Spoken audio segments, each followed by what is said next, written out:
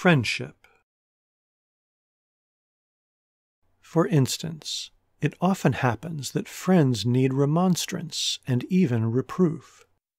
When these are administered in a kindly spirit, they ought to be taken in good part. But somehow or other, there is truth in what my friend Terence says in his Andria.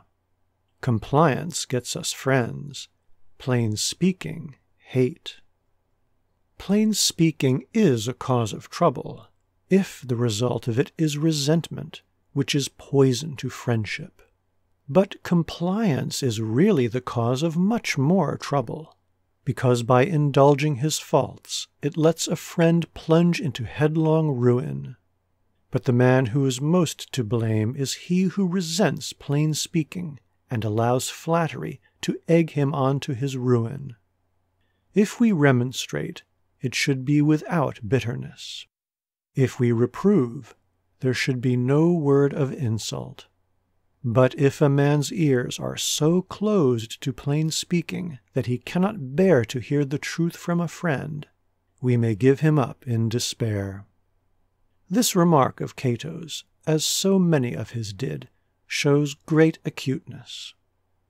There are people who owe more to bitter enemies than to apparently pleasant friends. The former often speak the truth, the latter never. Besides, it is a strange paradox that the recipients of advice should feel no annoyance where they ought to feel it, and yet feel so much where they ought not.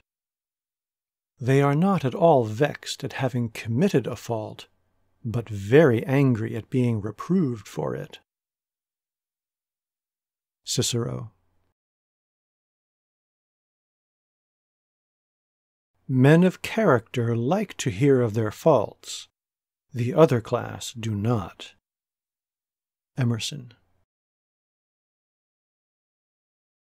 Before giving advice, we must have secured its acceptance, or rather, have made it desired. Amiel's Journal.